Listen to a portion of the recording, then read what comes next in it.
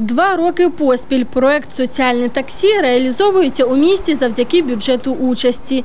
Така послуга дає можливість людям з обмеженими можливостями дістатися місць соціального значення – шкіл, управлінь соцзахисту, пенсійного фонду і не тільки.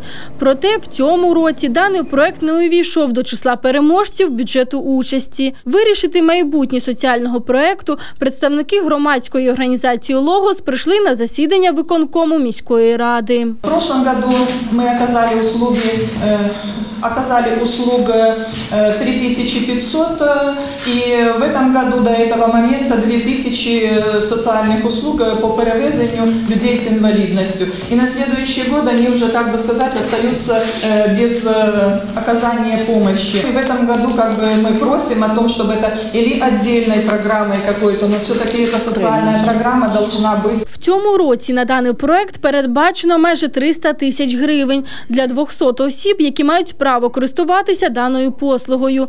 Загалом у місті проживає 23 тисячі людей з інвалідністю. І члени виконкому запевняють, вже якщо реалізовувати соціальне таксі, то для всіх громадян, а не лише для обмеженої кількості. Краще інвестувати бюджетні кошти в розвиток транспорту для всього міста, в тому числі для людей з обмеженими можливостями, створювати умови для безбар'єрності там в парках, на пішохідних переходах і так далі, там пандуси ставити. Тоді це буде реальна програма для всього міста і для всіх, хто цього потребує, для людей, які за то повернулися, і для дітей, і для ну, людей, які не можуть пересуватися. Представники громадської організації «Логос» запевнили, що дана послуга вкрай необхідна у Чернігові.